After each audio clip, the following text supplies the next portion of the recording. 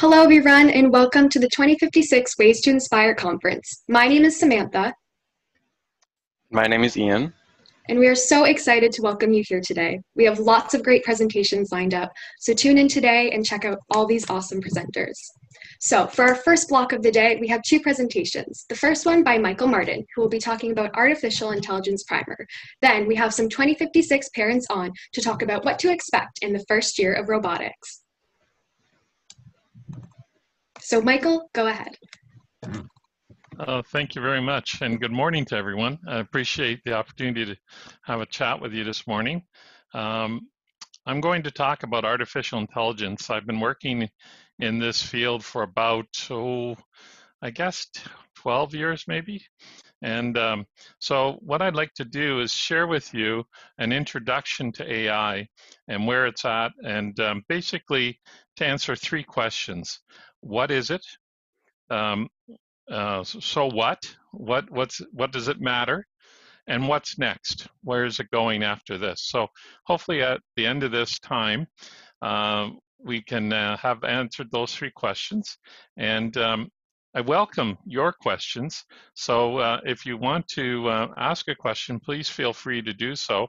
And um, Ian and Samantha will help me with those and uh, share them to me because I cannot see the Twitch feed from here, but um, they will help me and uh, we'll get to your questions. So let's make it interactive and have fun with it. And um, I'll try not to be too boring. Um, I've put in a lot of pictures and videos so uh, you can see some of the results. And uh, why don't we just start off now um, with um, the very first one. And this is the first project I worked on, and it start I started in 2008, I think, on this project.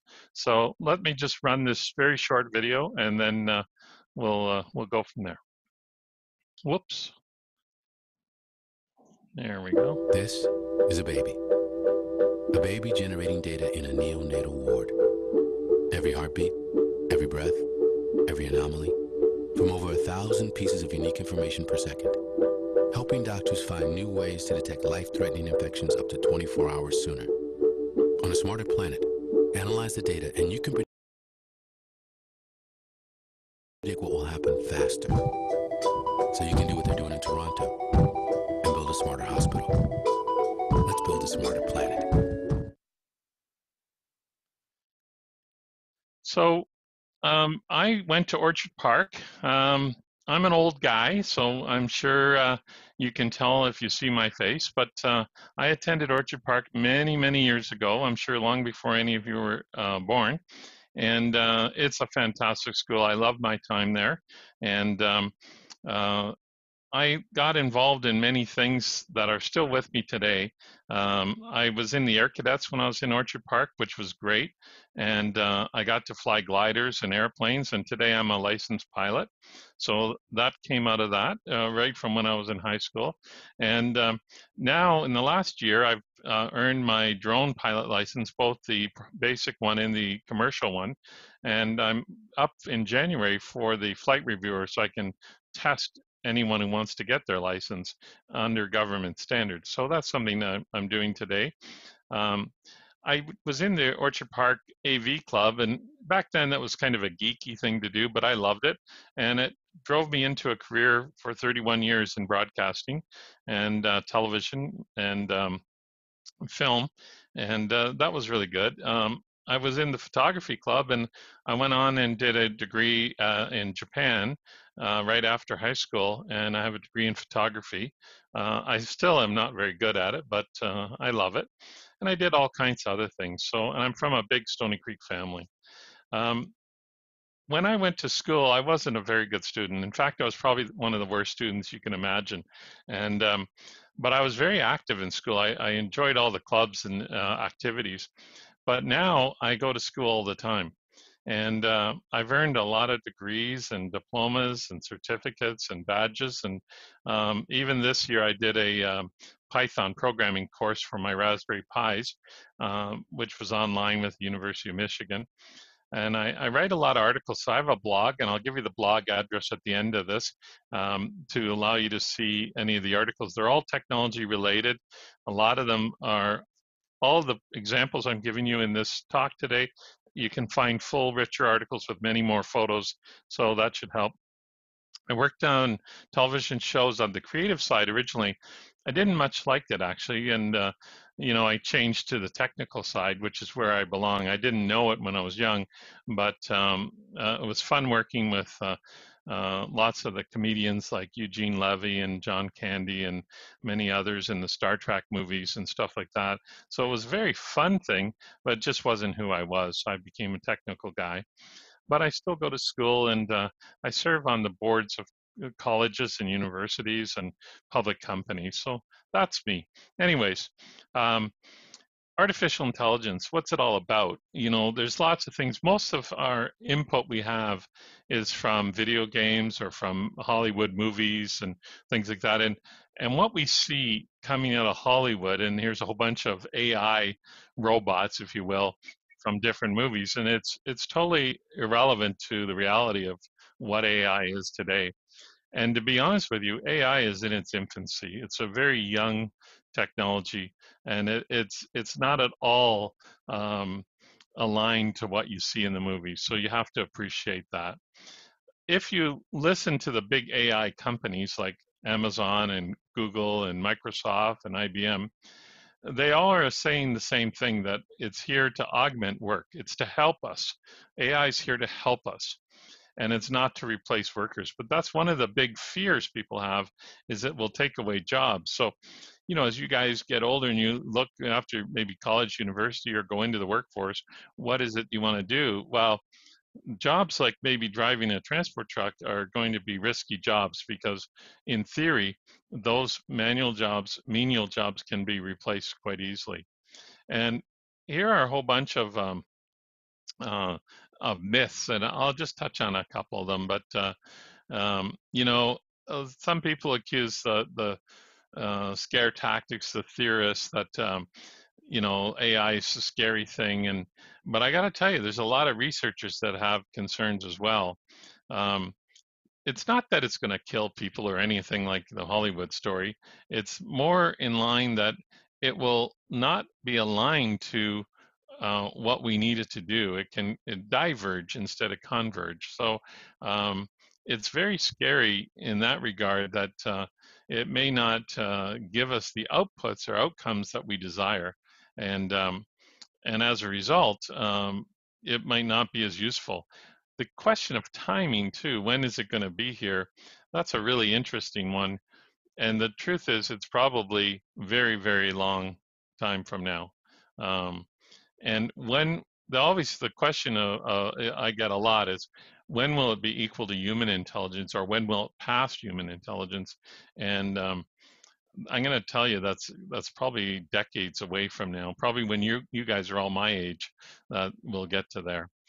Um, so let's talk about intelligence first of all. What is intelligence? What makes a human intelligent? What makes us different from other animals on the earth and, and why? And here's a checklist of some of the things we can we can think and we can reason, we can learn and understand from experience. If you you burn your finger on the oven, you know not to do it again. Um, so we can we can adapt to that. Um, and if you fall down off your bicycle, you know not to maybe uh, put the front brakes on instead of the back brakes. You know, you learn. So it's all of these things, these behaviors that we have that allow us to adapt. And um, if you like games like chess or uh, video games, then you know you can get better and better through repetition. The more you do it, the better you get. And um, that's very important. Um, now, if we look at how the human brain works, there's, there's basically three major parts of the brain. So there's many, many more parts, but the three major parts are recognition, skills strategies, and caring and prioritization. Um, it's the what, how, and why we learn. And um, with computers, we can teach it what, we can teach it how, but it's the why part, the context part that it, it has a really hard time with. So it, a computer is not caring, and it, although it can prior, prioritize certain and categorize things, it really can't um, order them from an emotional level. It can only order them from a logical, technical level.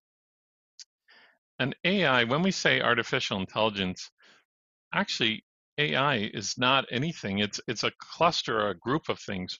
And here I've broken out a few um, examples of what it is. It's vision systems, it's natural language, uh, it's speech, and each of those divide even further. Um, the last time I looked, it was about um, 43 different uh, things, and, and that keeps growing. So this uh, list I've shown you here is actually quite small compared to what it really is today. Um, if you know computers or if you use computers, which we, I'm sure we all do, then we have what we'll call classical programming. We, we give it some data, we give it some rules, and um, we get the answer. So if we put a whole bunch of fruit in uh, and have it count them, how many are apples, how many are oranges, we, we tell it, here are the apples and oranges, all in a basket. We tell it that oranges are, are orange color, apples are red color, and it will go through and, and look at them and give us how many of each we have. But AI doesn't work that way. With AI, we give it the data, we give it answers that we're looking for, and then we have the AI generate the rules. So it does it a little backwards compared to um, normal traditional computing that you may know already if you use Python or something like that, or C++ to start with AI, when I first started, I, I met this amazing woman, and um, she was quite a bit younger than I was. And I asked her what her job was, and she told me she was a data scientist. Uh, I didn't even know what that was. I thought, well, that sounds pretty cool. What do you do? And then, uh, and she told me what she did, and I I really fell in love with the idea of being a data scientist. I wish I was younger. I could go back and um, become a data scientist. It sounded fantastic. And uh, this is a description for you of what is a data scientist. And it's all about managing data and then getting the data ready so it can be processed in an automatic way. But what is very true about data science is it's very technical and process oriented, very engineering oriented. Um, and if we follow this flow, start at the bottom center. The first thing you do with data science is you create a question. And getting the right question is really the hard part of it all. What question do I want the answer to? And then if we move over to the um, uh, the left side here, where we have uh, um, our little uh, discussion going on, we we kick around the question, we refine the question, and we optimize it. And then we move up to the left middle, and we do data acquisition. We we want to answer our question and uh, we maybe our question is how many trees in Toronto are losing their leaves today? Okay, so we need to have data. How do we get that data? Where do we get it from? Um, it's fall. We know trees are losing leaves, but not every kind of tree loses its leaves. Some are pine trees and they keep their needles all year. So how do we know that? We need to know how many types of trees we have, how many species. We need to know um, how many are deciduous and how many are coniferous. We need to know uh, what stage they're at. Maybe they haven't lost their leaves yet. so we might do satellite imagery. We might do getting a drive around and do sampling. There's all kinds of ways to collect data, but we get all this hodgepodge of data. And then the next part in the upper uh, left corner, we have to clean the data. Data cleansing is the term I normally use. And we the data comes at us and it might have duplications in it. It might have incomplete records. It might have um, uh, all kinds of corrupted data. I've had a lot of trouble with corrupted data. And, um, and why would the data be corrupted? Well, because uh, in one of my projects in the Netherlands, we were bringing in data from the whole country over the cellular network called KPN. And the data was coming in corrupted because it was being distorted over the cellular network. We didn't know that at the time, but when we got it to the data center, it was all bad data. And it was costing us over $2.1 million a month to collect the data. So we're paying all that much money, and about 78% of our data was garbage. Couldn't use it, couldn't fix it. So then when you get the data organized and cleaned up, then you have to organize it even more and put it in a structure that the computers can understand, get it all in the same format because the data may come in uh, many different file formats and we need to have a commonality there. So, and if you've heard of MQTT, that's a, a program, a protocol that I use quite regularly for that. Then we do our analysis and we, we say, what is going on here? What are we looking at? And we apply da different data models to it. Uh, top right there, where, where we can have um, uh, different algorithms that will sort and organize the data. What we want to do is cluster the data and build it into logical groupings so that we can analyze the groupings. Then after we've done all that, we want to see it. We can't just look at the data as it is. We need to turn it into some sort of graph or chart and visualize it. And um, and then we actually deploy it. And this is very much an iterative process. We go over and over again to um, refine it. Um, now, at this point, when I learned how to do it and have been through a couple projects, I learned something very disturbing that 95% of your time is spent cleansing the data. Um, and uh, for me, wow, that's a boring job. For my friend Nadine, who was the data scientist I met, um, and became friends with, she loves that. She's a very meticulous person. She's easy to work alone, and she'll spend hours and hours all day looking at data, and she's totally happy with that. For me, I'm too active. I could never do it. It was too boring. Uh, and so, data scientist, not going to happen for me. But it all depends on who you are and what you like and who you want to be. This could be the perfect job for you. Um, if you like detail. It's like solving puzzles to me. It's very much a puzzle business. And if you like solving puzzles and making things to make sense, then this is the job for you. So now AI, we got the data science, we understand about that. But what is AI? Well, one of the things it, it is mostly, probably, I don't know, 75% of all AI today is one category or subcategory of AI called machine learning and um, it's the science, and I'll put the art of programming computers so they can learn from the data.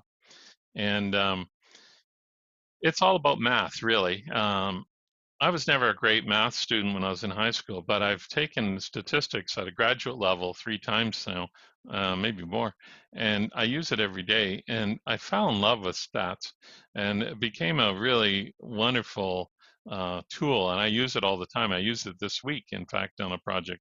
So if you like math, uh, and if you like the grace and beauty of math, then this is very powerful stuff. And um, I like to be able to predict the future. And one thing that we can get out of AI is uh, the ability to know what's coming, to see see beyond today. And it's kind of interesting. Uh, in some cases, it can be very accurate. In other cases, it can be a disaster.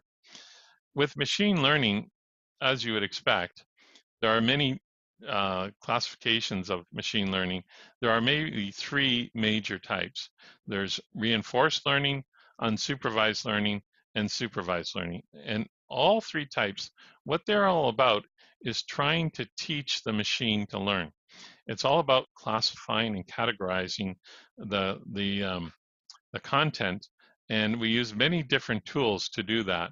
And um, reinforcement, uh, well, let me just show you. There's, um, well, before we get to it, there's one more thing, the neural network. You've probably heard of this. This is loosely based on the way the human brain works. One thing we do in science quite a bit is we copy Mother Nature. We copy um, the natural things in life. And many of the networks and that I've built over my career are all copies of what is found naturally in in our world. So the neural network has copied from the way the brain works and it has it's all about connections and nodes connections and nodes. So in a node it's really an algorithm uh, that would run a routine or process and we move the data around through the neural network. Now the next type of after machine learning there's deep learning and deep learning is um, a subfield of machine learning. It's a, a smaller version of it and it's very different though, and it uses neural networks um, that are very uh, layered, very uh, capable neural networks. So it's a little more sophisticated. But so what's the difference between them? Well, one of the things that I, I really found troublesome with um, AI in general is it has to be trained. We can't just use it out of the box today. It needs to be trained. And on different projects, um, the training can be very time consuming, very expensive. So if you say to me, oh, we want to use AI to do a project, well, you can't unless you have the training data. Now, in many things, it may exist today. And AI gets better the more you train it. The more data it consumes, the better it gets. So if you have on the top here, top left, we have dogs, we have cats, and a raccoon, and we process it through, process it through the neural network, it breaks it down in the features and say they have eyes, okay, all of them have eyes. They have four paws, yes, they all have four paws. They have tails, yes, they all have four tails. So far we've done nothing, but are they big or small? What color are they, or coloring?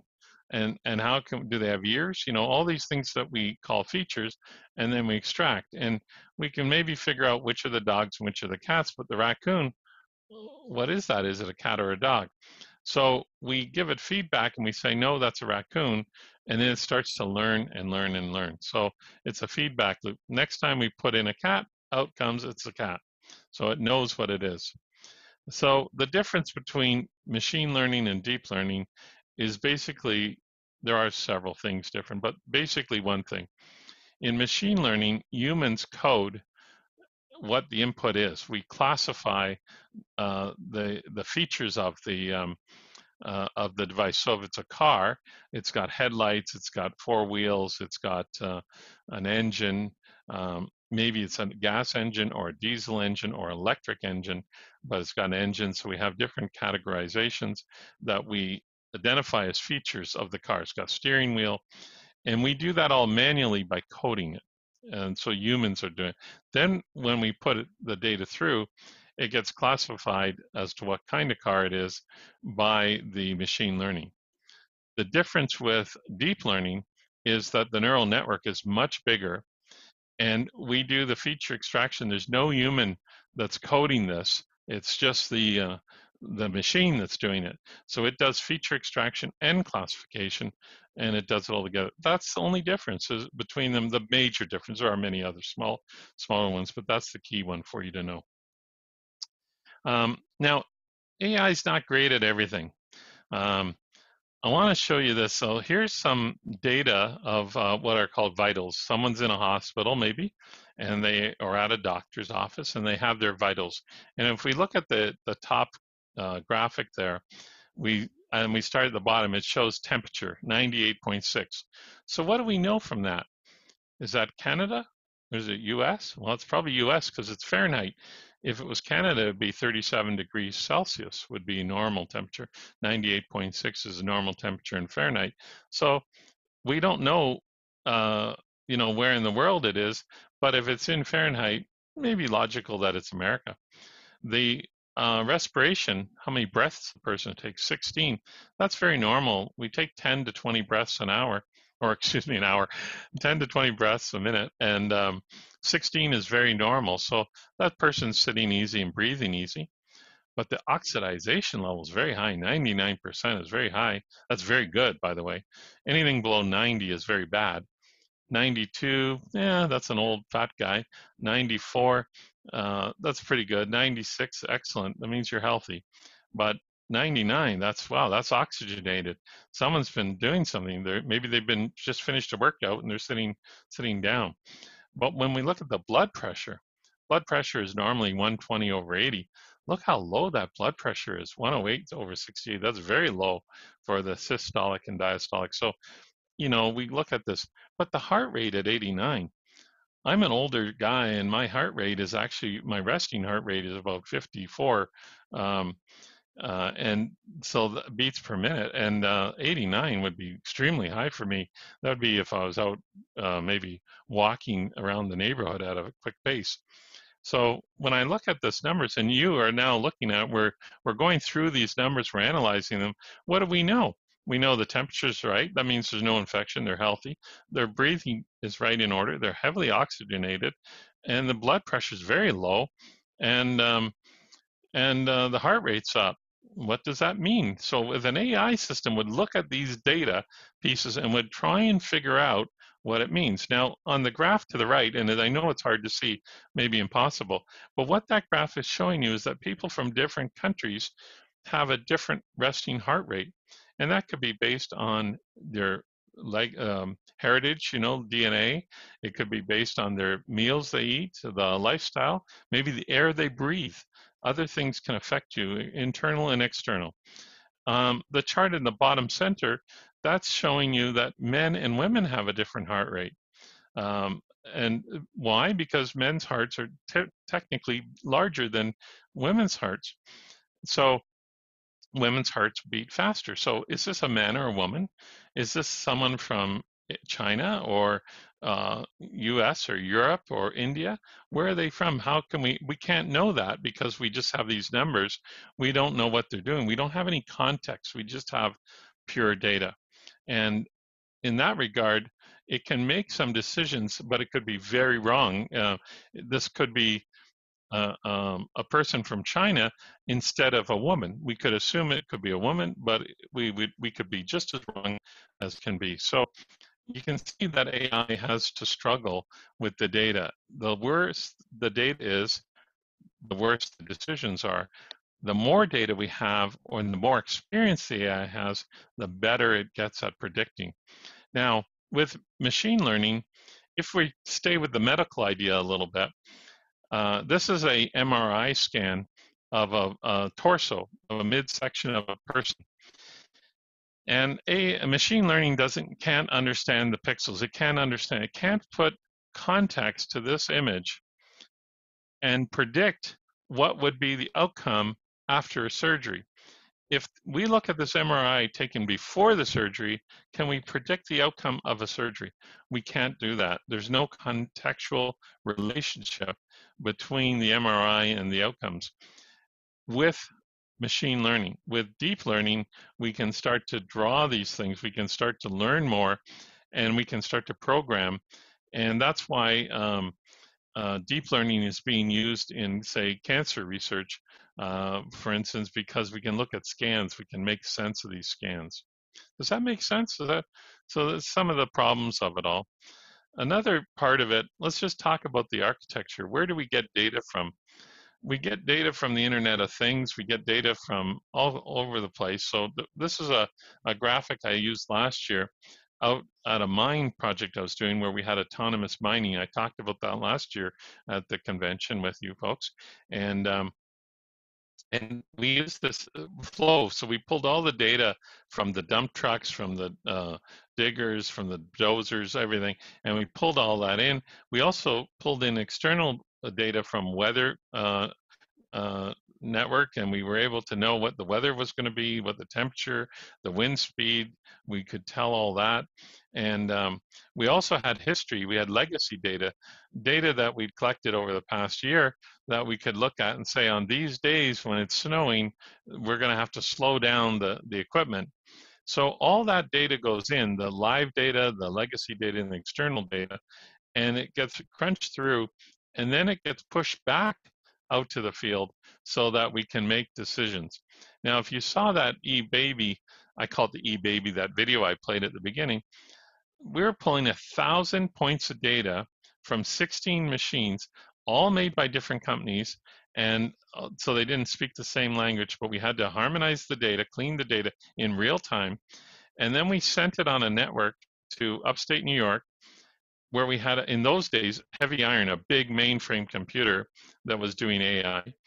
And so that computer couldn't move. It was, uh, uh, you know, in a room the size of a gymnasium, and um, it was gigantic, and it used uh, you know megawatts of power, and uh, it was just unwieldy. But we had to bring the data to it.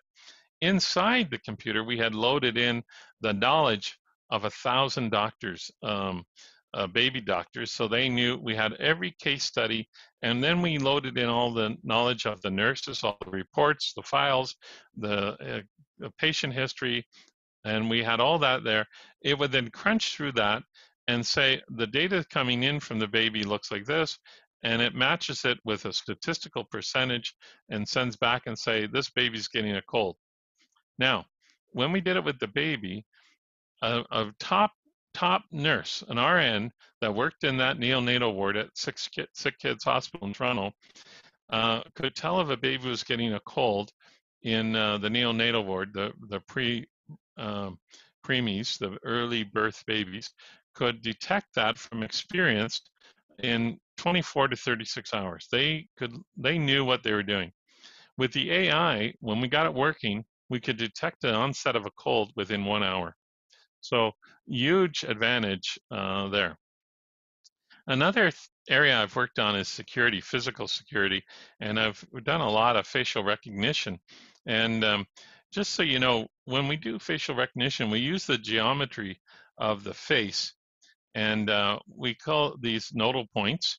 And um, we we put up to 80. There's about 84 nodal points on a face, and then we do the geometry between the points, so we can start to measure distances. We only need about 18 nodal points to identify a person which uh, I find quite interesting because when I wear a face mask, my iPhone won't open. It's very frustrating because uh, I use facial recognition in my iPhone to open it, and it won't open when I put a face mask on. So I've had to retrain it so it knows what I look like when I have a face mask on. Uh, but then I change masks from a blue one to a white one, and it gets confused again. So little challenging there. With facial recognition, it's been a disaster. It works a lot of times, and it works the way we train it, but it's failed um, miserably. And many of the AI companies have stopped working on facial recognition because of the weakness of its predictions. And here's the results from an Amazon study. But if you have uh, a difference from what it was trained with, if you know they train it with uh, middle-aged white men, then it struggles when it sees a person of color or if it sees a, a, female or an Asian person or a European person that doesn't meet the, the parameters that it was trained with. And we've had huge failures. Um, and again, very poor with women, older, black, or Asian people. And um, that's why it's been a failure. It's the way it's been trained has been very poor. So um, some companies have walked away from it. They think the risk is too high. Um, let's talk about chatbots. That's an area you probably all use chatbots all the time, every day. And um, and by the way, you use AI every day. You might touch AI over a thousand times a day, and you don't know it. Uh, it's in everything. It's everywhere.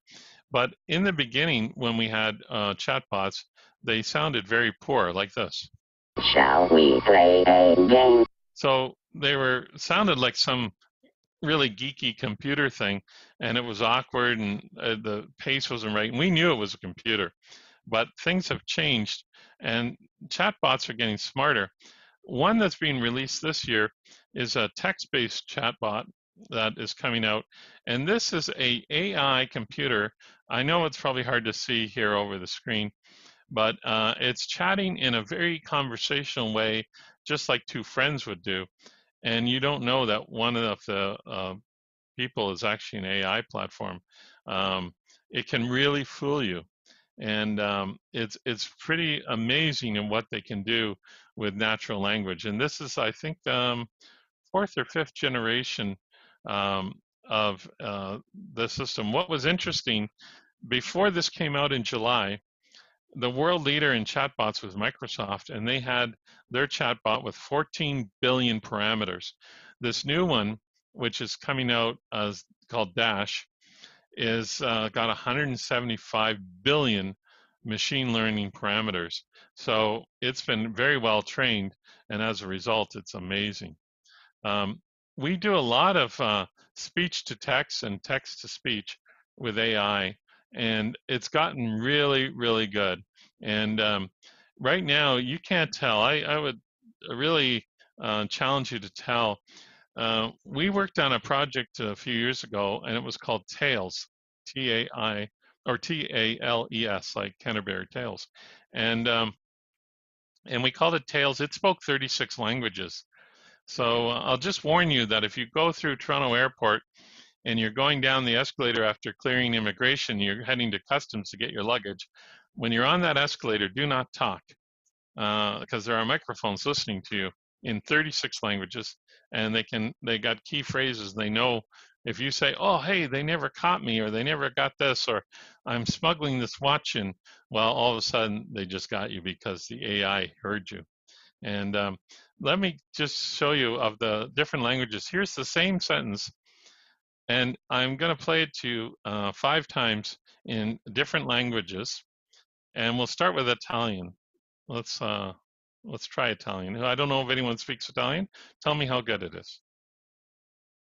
Il servizio IBM di sintesi vocale converte il testo scritto in audio dal suono naturale in una varietà di lingue e voci. Now let's try Arabic. Does anyone speak Arabic? Can they tell?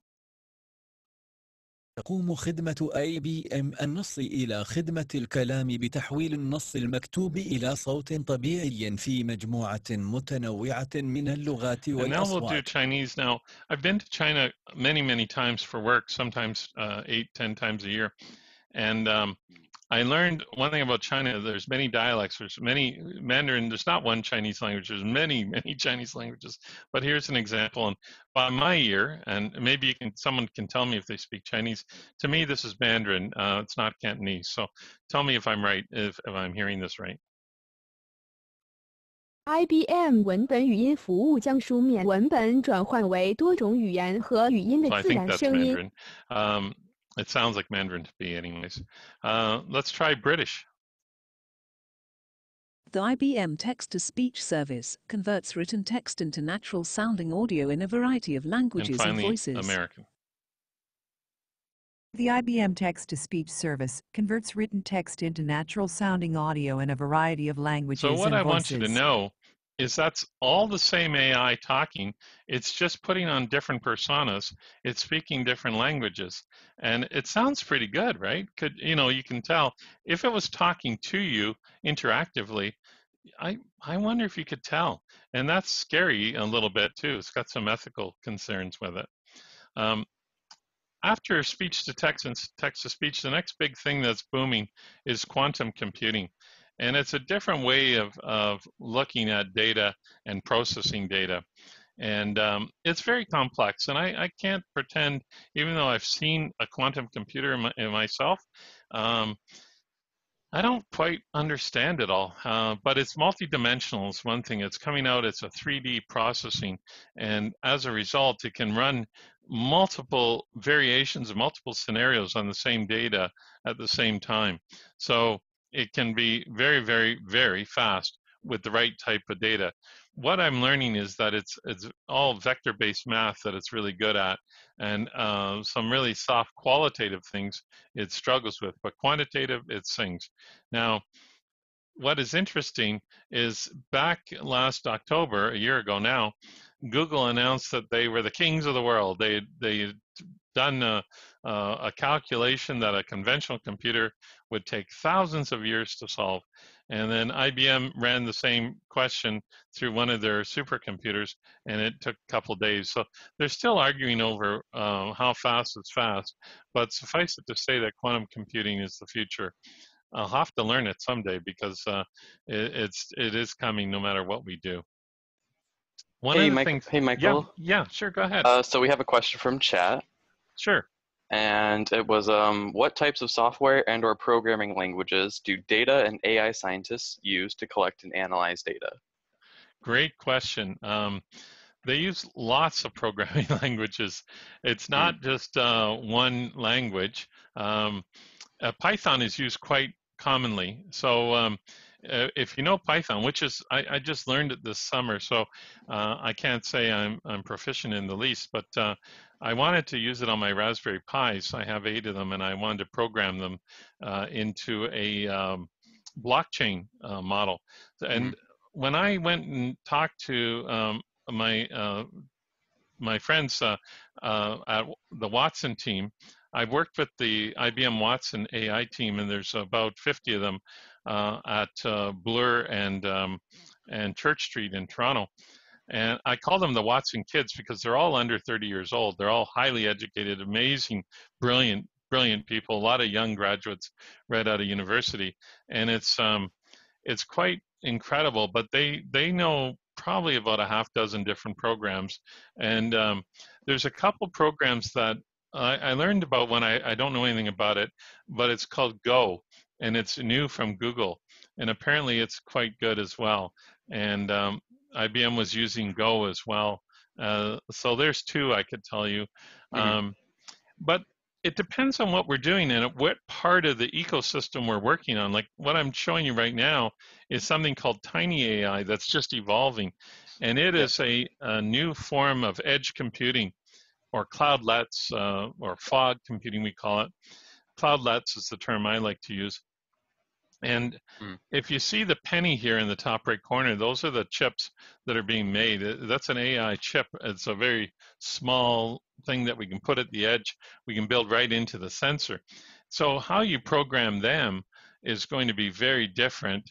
Um, and you use different programming uh, languages and algorithms at the edge than you would use in the cloud than what you'd use on the AI platform or what you would do for data cleansing as well. Um, because I hate to say this out loud because my colleagues would uh, kill me, but um, they still use some uh, spreadsheets to uh, sort data. So sometimes the easy tools like Excel can be a very easy way to sort massive amounts of data. And I had to do um, um, uh, some very complex work for AI. And uh, I had 64,000 smart meters in the city of London, Ontario, from London Hydro, and I ingested that into Excel, and I was able to sort it and clean it with Excel. So um, again, no one wants to hear that we're using Excel, but Wow, uh, yeah. you know, uh, but sometimes it's fast and easy, and it's something I could do uh, very, very uh, promptly. Right. Um, anyway, I hope that answered. We can go now. Yep. I just wanted to say, at this point, I've covered all the big, heavy lifting stuff, and we've gotten now. Now let's have some fun. Let's. We've answered the question of what is it now. So what? Who cares? Where's it going? How's it going to affect us? I wanted to show you this. Uh, I don't know if you guys have seen this video. Uh, a pig on a ball. Now, every time I show this, I get very different reactions. Some people say, that poor pig, look what they had to do to train it and teach it. And uh, other people think it's fantastic, it's amazing. So I get very different reactions when I show this video. The truth is, that's AI. Now, obviously, it's not a real pig. It looks pretty real. And um, uh, it's quite amazing, but it's called Pinky. The little pig's called Pinky, but it's an AI uh, animation. What is amazing to me as a broadcast guy and a film guy is how realistic it looks, and it can fool lots of people. And the uh, the shadows are there, everything's there, so it it, really is deceptive. Um, I want to show you this one too. Deep fakes. uh, You've probably heard of deep fakes, um, but here's a fun one. Then have a nice day. Thank you. Uh, wait a second. Somebody's trying to connect uh, to our conference. Um, Okay, who? Who is it? I don't know. Uh, one second. Um, um, hey guys. Uh, Hey, uh, are you Elon Musk? Yes. Uh, it looks like I got into the wrong conference in Zoom. How are you doing, guys? uh, good. Uh, how are you? Good. I'm nice. Thank you. Nice, nice hair color, by the way. Thank you. It's Elon. Um, well, then have a nice day. Bye. Have a nice day. Bye. Bye. Have a nice Elon. day. So I show you that because it wasn't real. It was a, a fake, uh, uh, an overlay. Um, it wasn't Elon Musk. Now they use this in Hollywood. There's lots of. Uh, if you YouTube this, you can um, you can see this, and you can even get the code if you want to try it. so you can overlay it yourself.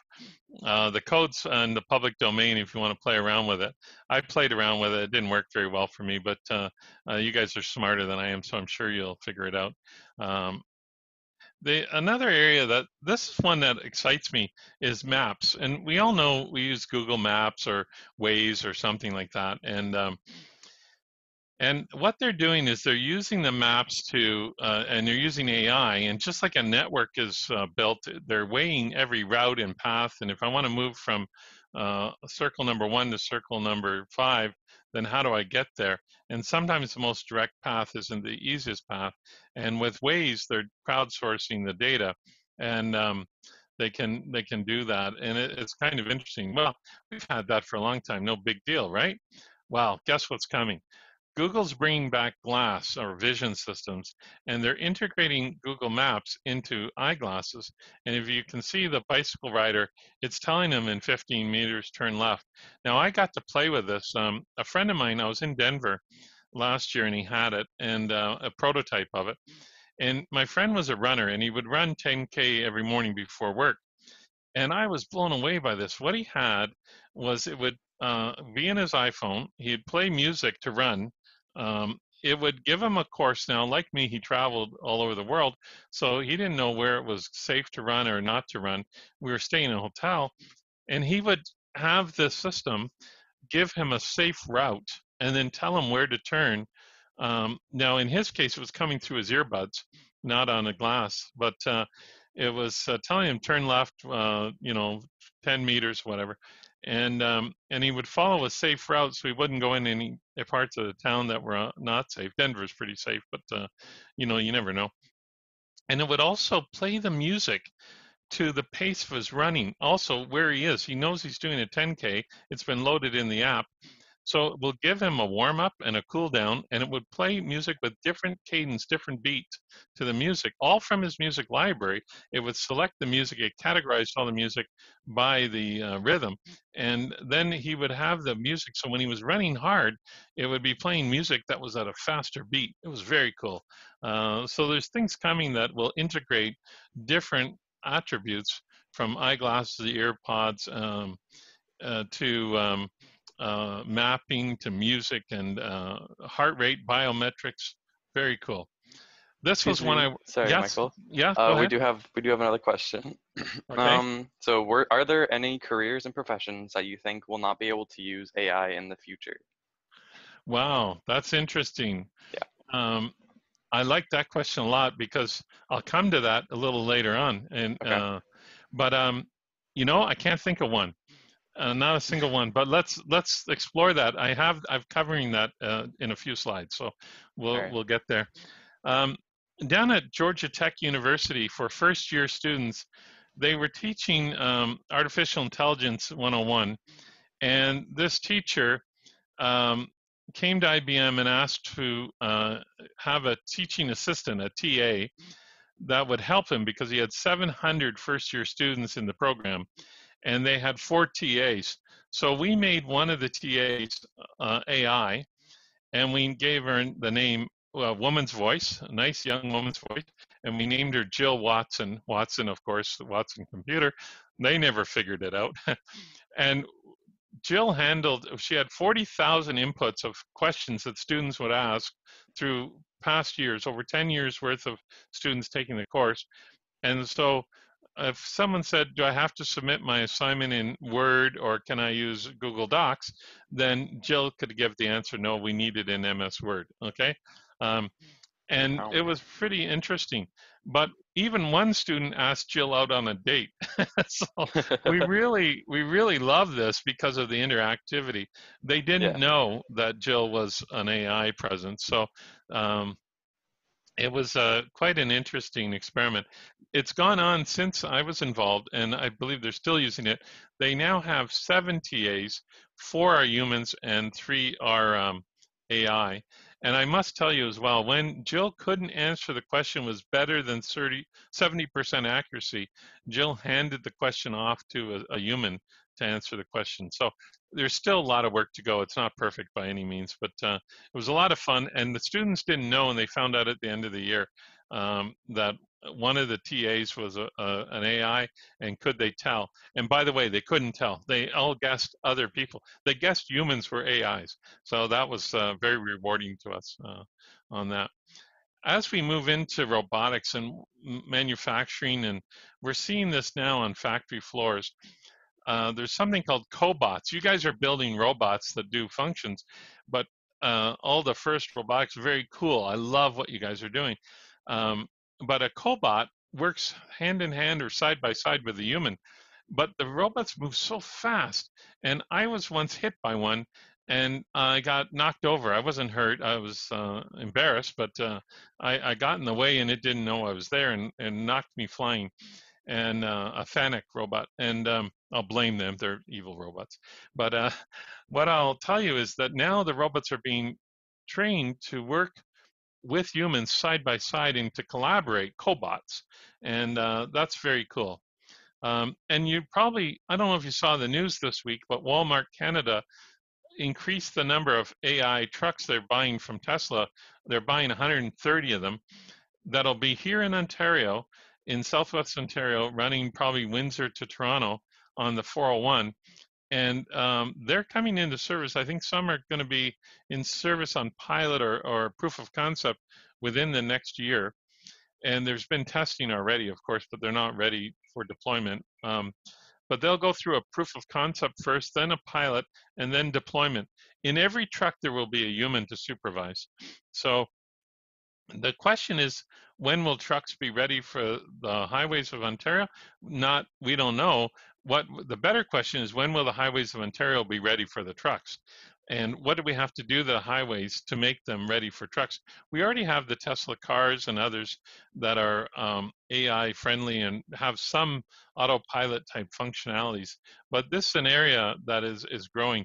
And we've had some serious accidents where people are, are not respecting that the AI is not perfect. And um, uh, there's been maybe some bugs in the AI, maybe not. There's lawsuits about it all. Um, I'm going to show you this one. There's um, arguments going on, can AIs fly airplanes? A flying airplane is actually technically a lot easier than um, uh, driving a car on the road because you don't have to interact as much. So let me just uh, play this video clip. Um, I just want to show you what happened. The pilot was trying to override the computer and, and could not do it. Watch this.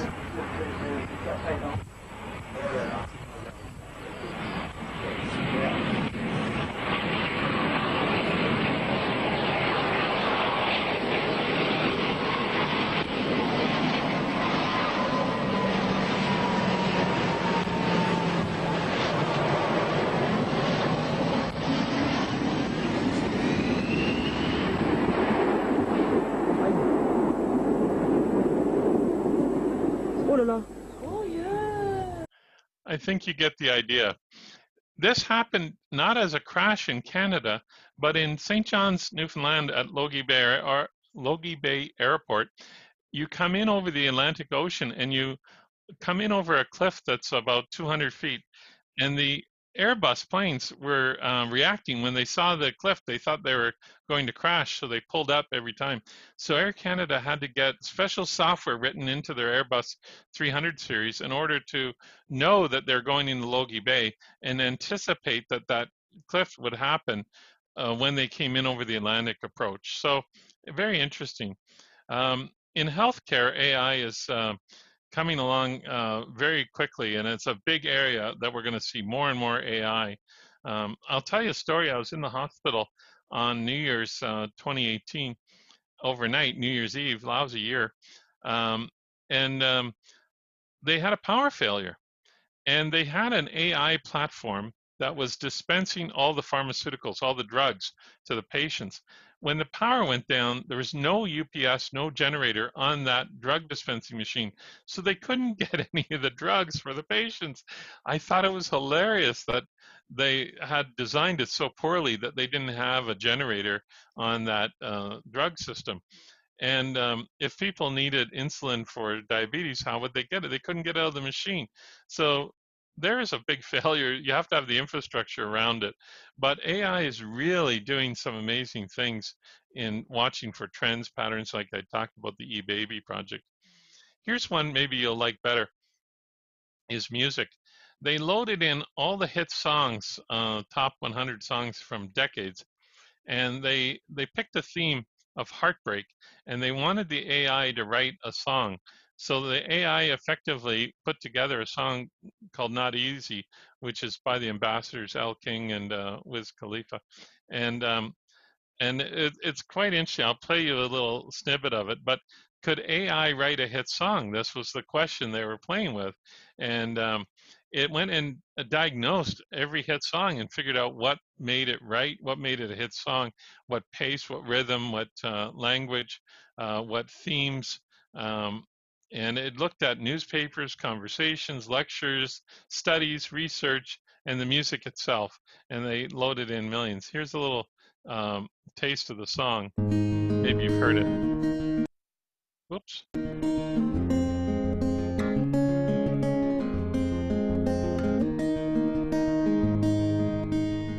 It's not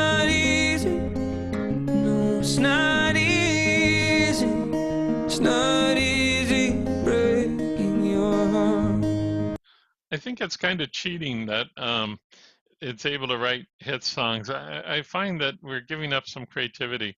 And that brings me to photography. Here's a picture I took with an AI camera. And I took the first picture manually myself with my own creative capabilities of my friend Fred. And um, this at uh, Buttonville Airport. Fred and I are both pilots out of there, and um, we meet for coffee on rainy days. And we're sitting there having a coffee uh, last year, and I took a picture of Fred. He's the guy with the black and red vest on. And then I had the AI take the picture again. And look at the difference. I, I, think the AI picture is way better. My picture's busy. The AI zoomed in on Fred. It diffused the background. We call that bokeh and it isolated Fred. They're taking seconds apart and um, the same picture, but look at the difference in, in, the quality of the creative process, if you will, of the photography. I hate it that uh, mine is terrible, and you know I have a degree in this thing in photography, but it didn't help me that day. But uh, the AI outperformed me. That's interesting for people who who don't have a degree. They might love this and make them take better pictures of Fred, but um, for people who like the creative process of taking photography, then uh, it's uh, very interesting. Here's another attribute Microsoft's working on where they're processing pictures. You can take a photo, put it in. Old photos or lousy photos, and the one on the bottom left is an old damaged photo with creases and wrinkles and discoloration, and the AI, the Microsoft AI uh, corrected it uh, beautifully. Likewise, the big photo of the young lady. Um, she, uh, it's out of focus. It's all blurry. It's diffused, and the AI corrected it and uh, fixed focus and did a lot. I, am quite impressed with that. Photo restoration is very valuable. Um, I think photography is part of our history. We need it. So it, it's amazing that Microsoft can do this. I love it. I look forward to be able to use this. Um, last year I talked about mining. I won't bother you with that again this time. I know the video's up on the Team2056.ca um, website, so you can watch it if you have the patience for that. But a lot of autonomous mining. Um, the trucks I was working with when they're fully loaded were 800,000 pounds fully loaded, and uh, they were gigantic. And um, uh, it was fun project, and we did. I ended up doing eight mines um, on this project, uh, fully autonomous, and uh, uh, some of the mines had up to 64 trucks, plus the dozers and the diggers and a whole bunch of other stuff.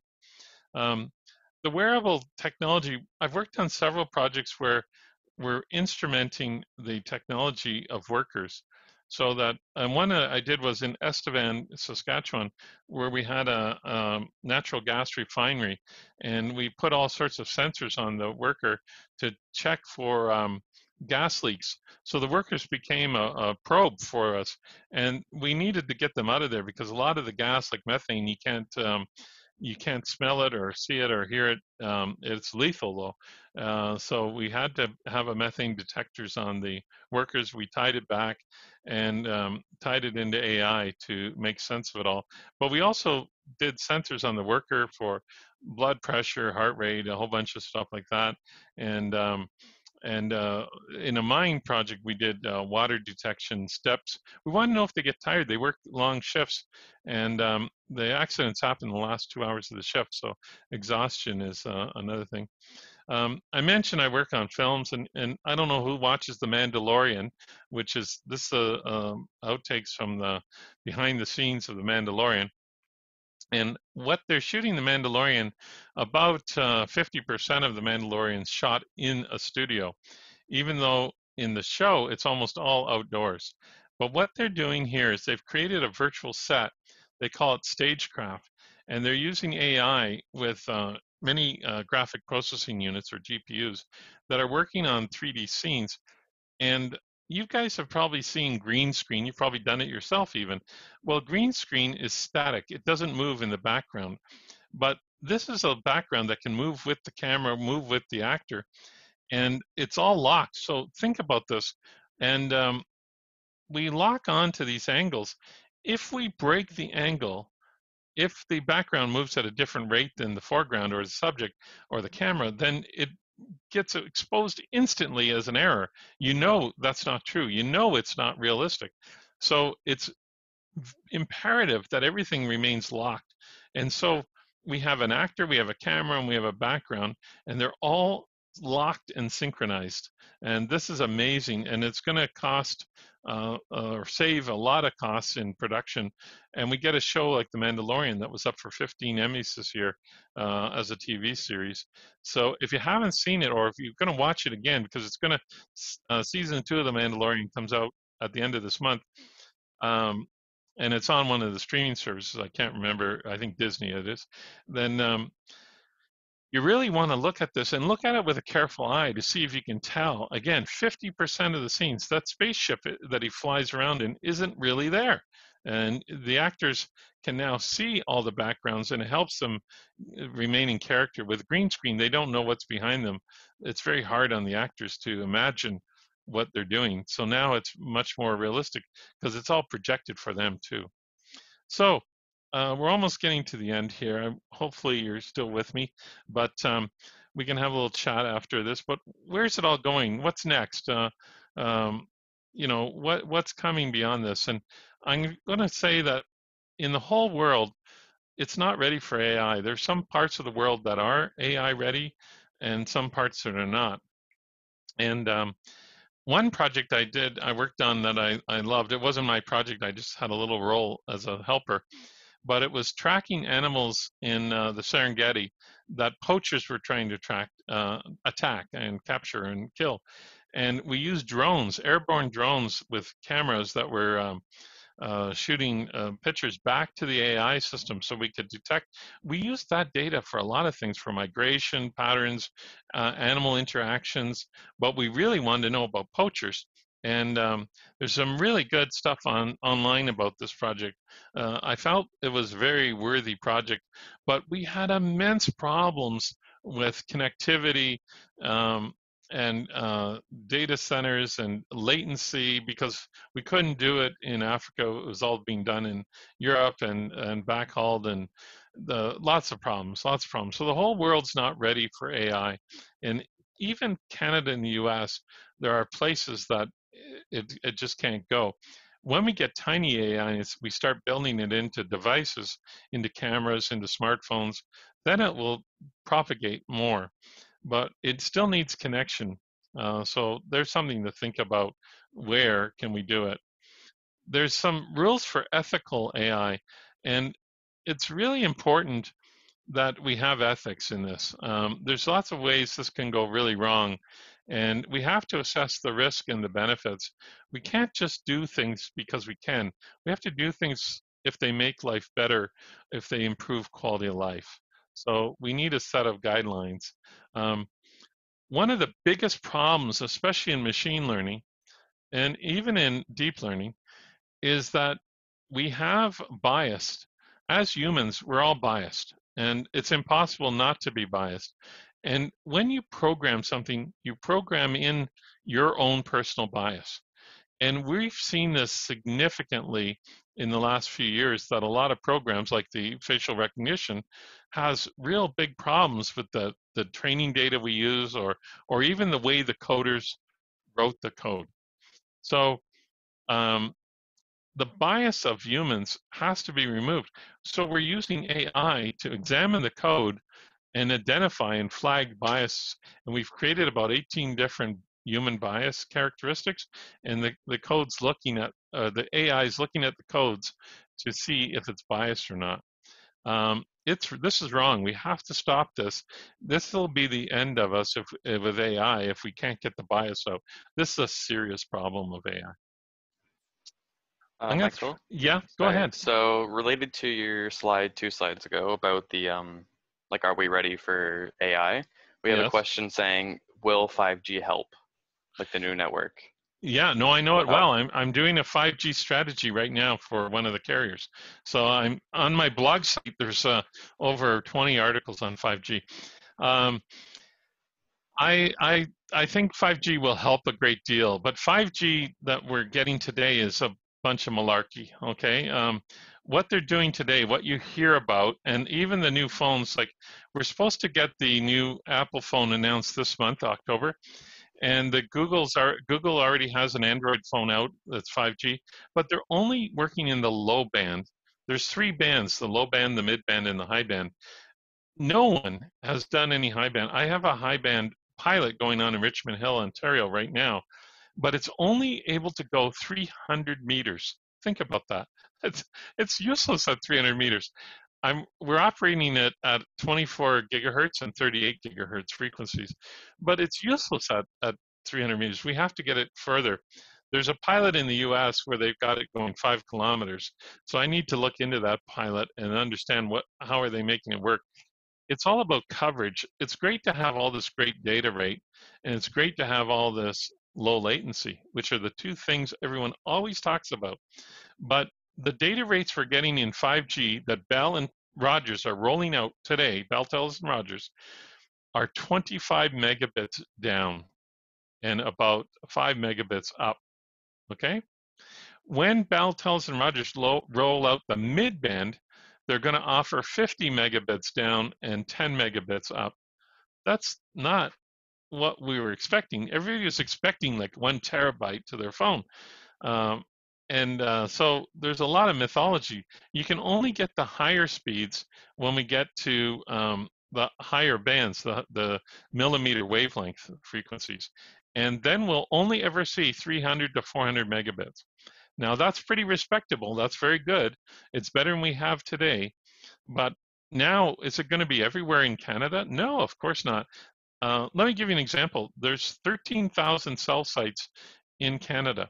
Every one of them has to be retrofitted. Then we have to add the small cells. I'm estimating 300,000 to 500 small cells have to be installed. They haven't even started that.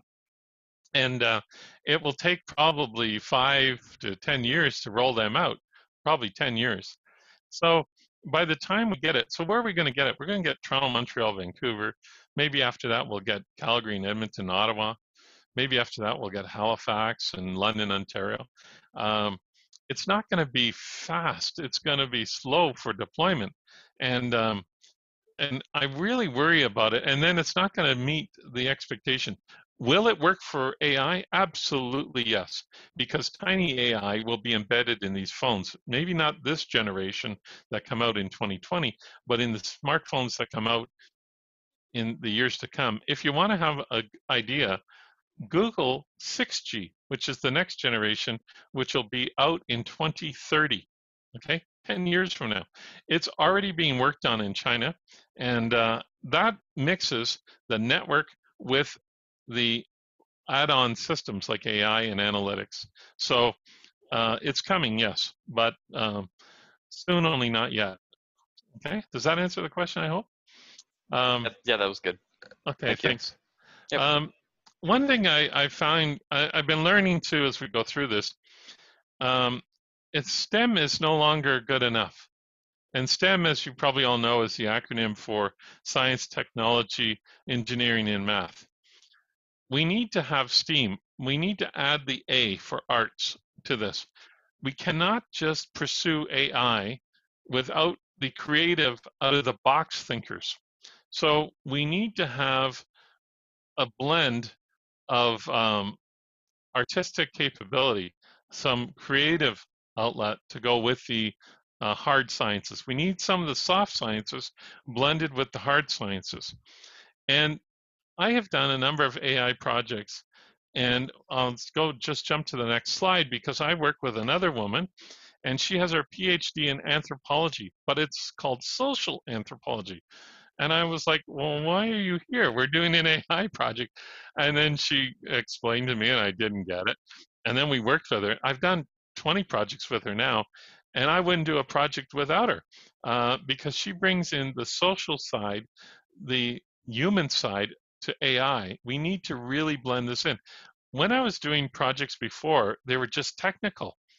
And that was great. I love that. I'm a technical guy. I love that. But they were not as good as they are now when we bring in the human side. When we mix uh, the arts with all the technical side, we bring in the social and the ethical. That's when AI really, really gets good. And um, and it's I know we're doing much better work now when we we brought in this stuff. Um, I'll show you. Here's a, a um, this is from a company called Gartner, and we call this the hype curve, hype cycle they call it, and it shows you where different technologies are. This is a 2020 curve from July, and these are all the new topics. I know it might be hard to read on um, Twitch, but one of the things like I'm working on today are digital twins.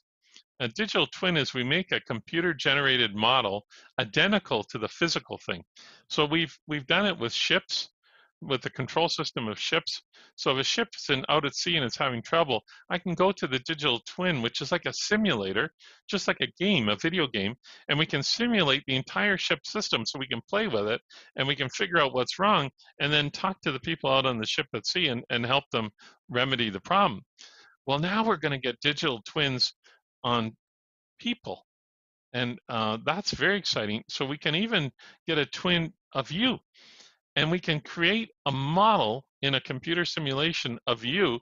And I'm talking about medically you. Now, your heart rates and everything. Once we model you and we know what you look like, and we have all your parameters, then we can compare the, the vital statistics we get from you to what is happening going against the model and we can start to do things. It's really fascinating where we're going with all this stuff. And I'll give you two words. Right now, everything's fairly static and we're moving everything to be dynamic. That's a real big shift that's happening. Another thing, everything is has been non-real time and we're moving to real time. 5G will allow us to do things in real time uh, the live connection. What is live? What is real time? That's going to be very important. So there's some ideas there. Um, I'll end uh, on this one. I'll, I'll just play this. I'll let it play as I chat. But this guy wanted to see if he could hack uh, AI. So he hacked a smart coffee machine. And you can see the video playing there. But what he did was he hacked it so when you uh, at his office and he wanted to see if he could interrupt it without disturbing the network and then if his uh, coworkers did it and he did it for ransomware you pay him money and i don't know if you can see the picture but the little devil faces come up on the screen. And it now took over control of the coffee machine. And the coffee machine he'll turn on the grinder. He'll start it pouring coffee water before it's ready. And uh, he makes a mess. And unless you pay him the ransomware, he won't give you back um, the encryption code to um, the hacked coffee machine. So the uh, I'll stop this. Um, but the idea here, we're not going to hack a coffee machine, but I just want to drive home the point that all of this, the more we depend on technology, the greater the risk we have. And um, we have the risk of it failing, like in the drug dispensing machine at the hospital. We have the risk of uh, uh, ransomware. We have the risk of errors where it could hurt somebody on a factory assembly line uh, with bad coding. There was one hack I was involved with uh, as a solver of the hack, and it was in Illinois. Some hackers got into the SCADA system, the smart control management system for the water uh, uh, pumping station outside of Chicago, and they turned all the pumps at full speed. There was like 32 pumps, and um, they're all running at full speed. These are gigantic pumps pressuring the water system. Now, no one uh, works at that uh, pumping station. They only go in once in a while, and um, you know, once a month maybe. And what the city noticed, all of a sudden they had all these water main breaks. They, had water main. Normally they might have five a year or um, five a month or something in the whole city, and now they had like 35, 40 of them, and it was like going crazy. What's going on with all these water main? Well, because there's so much pressure in the pipes. Somebody uh, what happened was one of the pumps started to burn up because the hackers had turned it on at full speed and they can't run at full speed forever. So what happened then was they it's, smoke came out of the pump. It triggered the fire alarm, which alarm company called and said, "Hey, we got we got a smoke alarm at your pumping station." So the technician went out there. It's hilarious they sent the technician and not the fire brigade, you know, which is really a bizarre thing. But the second he unlocked the door, he knew something was wrong because he could hear the frequency of the motors was very high, a high pitch. And then he got control and he turned it all down. It had been running for almost three weeks at full pressure. And so these kind of malicious, stupid things um, are really uh, not good. And um, I, I worry about all this. So security has got to be really important. So what are we doing? We're federating the network. We're distributing all the AI all over the place. Therefore, we have to change the way security works. We have to put security all over at the robots out at the edge, edge computing. We have to distribute everything everywhere. And so um, it, it's going to be a new world. It's going to be very interesting. Um, there's my blog site URL, vividcom.com. Um, there's about 300 articles there all around technology, uh, lots of AI, lots of uh, robotics, mining, um, uh, pipelines, uh, smart grids, uh, all kinds of things that you can learn about. Um, technologically. So it's there. Uh, there's no charge. There's no advertising. Nothing. I don't want anything from you. If you want to just have a look and you just find something useful, that's great. And because I'm a visual guy, because my first degree is in photography, uh, there's lots and lots of pictures and lots of photos from, and everything we've talked about here today is all um, up there uh, as well. So you can, if you want more information on any one of these topics, whether it be security or or whatever, you can find it there. Um, and they're all categorized. There's some um, organization of the articles, so it's easy to find. And there's a search tool if you want to type in something like AI or artificial intelligence, you can do that. So I'll stop sharing now, and um, um, our time's almost done. We we have a, a few minutes, 10 minutes here. I don't know if, if there's any questions you have or, or anything else. We can have an open discussion here. Uh, please enter them in the chat on Twitch, and then Ian will share them with me. And, Yep. um, Yep, yep. you know, whatever. Yeah, um, there was one comment about the um, the automated languages, like the Italian and Arabic, and Yeah. someone said that the Italian was pretty good. Okay. So yeah, I was gonna mention that, but Thank you. I didn't Yeah. know. I can't speak Italian. yeah. um, yeah, if there are any questions, Yeah, put them in the chat.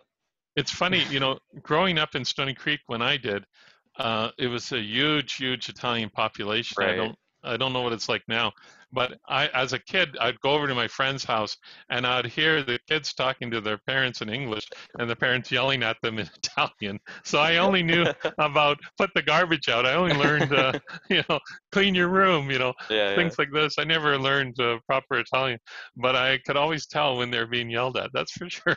Yeah, yeah, yeah. but uh, but uh, today, you know, um, one of the things here, let, let's touch on that a little bit, because one of the joys um, in uh, that I love is the cultural diversity that I find in the work I do, and um, I I work with people from every culture, every language, every and it sometimes it's hilarious because um, you hear I, I can't repeat some of the things because it, it's too embarrassing, but the use of a word in French may have a completely different Oh, meaning yeah. in English or or in, in other language, and you get confused. Like I lived in Japan and I, I I didn't understand the syntax when I lived there. I went over there as a teenager and uh, I was 19 out of high school, and um, um, I took a year off, and then I started at college at Conestoga College in Kitchener, and then I went over there to finish. And um, I used to use the expression "fantastic," and people say, "Hey, Mike, how are you today?" And I go, "Oh, well, fantastic." Yeah, yeah. And then then the next day they'd see me, "How are you today?" And I'd go, "Oh, fantastic." and then, but you know what I mean. Uh, yeah, yeah, yeah, the you know, context, right. And but in Japan, they they all knew the word fantastic because Fanta Pop, Orange Pop, was sold there, and it was Fanta Fantastic, right? Okay, and, yeah, uh, yeah. So everybody knew it, but they knew it was a good thing because it was on TV every hour, every day. Fanta Mhm. Fantastic, Fanta Fantastic. So when people would say, you know, uh, Nani Diska Martin son, you know, like how are you? Hmm. And then you would you would answer, oh, fantastic. And then they then you would hear, they would be all confused, like, Yeah, what's yeah. he mean? I because they could feel the emotion, but they didn't understand because didn't understand, Japanese mhm. Japanese is the syntax is a positive statement with a confirmation or a denial at the end. So Okay. you say, Okay. Yeah. yeah. I am good, yes or no, right? Mhm. Uh, I am good, no. Then they understand. But um, so the syntax of a language can create some really different problems in Right. programming, in coding, and in, in working on teams and uh, collaborating. But Mm. I love the fact, uh, I mean, one time I was back in Hamilton, we were working at um, Dofasco, and we had this huge problem. And um, I didn't know how to solve it. But one of my colleagues, who was from Kashmir, India, um, Ajay, was a, a really brilliant engineer. And uh, and he had lived in the UAE, United Arab Emirates, and Yep. uh, he had worked there for I don't know ten years before he came to Canada. And I helped Ajay get his PN. He was already an engineer. He just needed to get his uh, certification. And my brother Ken is was um, professor at University of Toronto, and he reviewed his uh, academic record and everything, and and Mhm. told him what to do. So Ajay and I were very close because I helped him get his PN. And um, Ajay took the knowledge he had from UAE, working in the desert with sandstorms, and Hmm. applied that in Hamilton, working at Dofasco with snowstorms. And Okay. what they did to solve the problems in the UAE, he applied here. To him, he knew the problem right away. Knowledge is transferable. That's the secret. Mhm. When you learn knowledge in one area, you can apply it to another area. And that is powerful. And growing up in one place, you can't have all the knowledge. So when you get people from different cultures, different countries, different backgrounds, they're going to bring things to the party that you would never think of. And I, I love working on AI because of the diversity of the teams. And um, um, there are parts of AI like sorting, cleansing the data. That's not for me. Let, yeah. let my friend do that. Yeah. Um, but that takes a very meticulous person with a focus that I don't have. Right. Um, but um, but I can lead the project. I can make it happen. I can understand the the problems we're trying to solve. I can help formulate the questions. Um, but I need people with different skills to help actually solve the problem. So one of the joys of it, and I'm sure working on First Robotics, you guys have all gone through all this.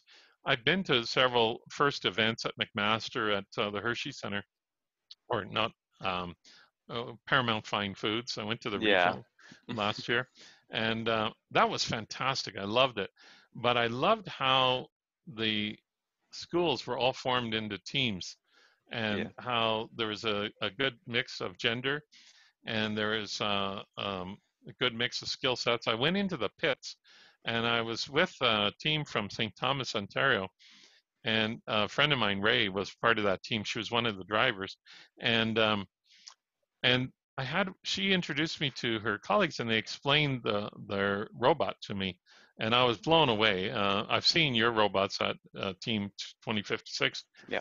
and I'm sure they're they're even better because you guys are such a winning school. Yeah. Um, and I'm proud of that, by the way, as an alumni. I'm very proud that you guys are doing so well at this. Mhm. Uh, and I had people fly in from Kelowna, uh, BC, to join me at the regionals to watch you guys. Right. Ex ex Orchard Park people came, just so you Mhm. know. Yeah, yeah. so so uh, you know, it's a bigger influence. Um, Yeah. so um, any more questions? Yeah, we have we do have a few questions in the chat. So um I guess just just should go through them, I guess. Sure, Uh, sure, sure. So what will limit the progress and advancement of AI in the future? Ah, easy. Humankind. Mm, We're the limitation. Yeah. Uh, I, we're running short on time, so let's try and scoot through. Yeah, yeah, so yeah. can get- Uh, so what motivated you to become so excited about learning new things and trying so many interesting hobbies? Oh, interesting. I've every report card I had in grade school, I went to St. Francis of Xavier. Every year it said Michael asks the question why all the time. I think I was born this way. But Yeah. you know what? I, I think the real secret is I'm from a big family, a very big family. There were 11 children, and um, and brothers and sisters. Again, that's a community of sorts. They Yeah. help you learn. I have very smart, smart brothers and sisters. So you want to keep up. You know, you want to stay with them. So family is probably my answer there. Next one. Uh, uh, sorry. In your opinion, how can today's students best prepare for jobs of the future? Ooh, that's a that's a hard one because Yeah. you have to learn, and I will tell you that you have to have a learning mindset. It's no longer you go to school at Orchard Park and then you go to a college or university and you're done. Right. You have to be lifelong learners, and it doesn't need to be formal. I mean, I would love if I could right now. I'd be taking a course at George Brown College on cooking. Mhm. So you know, it doesn't matter what you learn, but you got to keep learning. And I'd love to know how to weld. You know, Oh, yeah. so you Oh, know, yeah. there's so many things. So it all depends. Um, but I'm I'm worried about time. It's uh, Yeah, there's my watch is we got about two minutes. Dave? yeah, there's a few just quick ones. So, Okay. i- is there any advice for students who want to become more involved in AI work? Yeah, uh, you can you can play with a Raspberry Pi like I've been doing, and you can put some AI functions like vision systems or audio systems, music. You can have some fun with AI, and it Mm. will do stuff. You can download these um, code. You can write your own code, and you can make like a jukebox, an AI jukebox on a Raspberry Pi. There's some really cool projects I've played with. I made one for flying where it picks up um, all the other airplanes in the air and maps them onto my um, tablet computer. So I can see as I'm flying, I can say, oh, there's an airplane uh, three kilometers to my right. You know, you can do Oh, some cool. Yeah, amazing. yeah. So I know yeah. I won't hit anybody, right? Yeah. so, but uh, yeah, Yeah. there's lots of things you can do with Raspberry Pi. I'm a big Raspberry Pi fan. hmm Next one. Uh, and then one more. Why is it necessary to update an algorithm? Ah, Mhm. that's a great question. Somebody's thinking there. I like that mind. Um, Yeah. Because things change. The one thing that's true about life and the universe is that things change. Who would have predicted COVID a year ago now? Oh my right? gosh, yeah. Who would have predicted? So the way we're learning, the way we're doing this conference right now, a year ago, uh, I was in Stoney Creek. I stayed in a motel overnight. I Right. came into the school. I, I spent the day there and I did it physically. Today we're doing it virtually. And Yeah. I learned uh, from Emily about um, Twitch. I love this. I'm, Yeah. I'm Oh, yeah. learning more today from you guys. So um, uh, I've signed up for Twitch. I got my own account now. So Oh, yeah. uh, Mhm. uh, it's pretty cool. But I'm going to say to you that um, things change. That's the only answer. So we have to adapt algorithms to uh, reflect change. Also, new algorithms come on, new ways to do the same thing, more efficiency, uh, you know, smarter ways, faster ways, or with better results. Uh, so I think that's about all our time, right? Yep. It's our That Emily's is- going to pull the plug on me here. I guess so, yeah. Okay. What do we do now? What's uh? Do we just end? I drop out. I guess All right, so. Yeah, we have. so thank you so much for joining us. Your presentation was awesome, and there were some great questions today. Definitely discussed some incredible topics.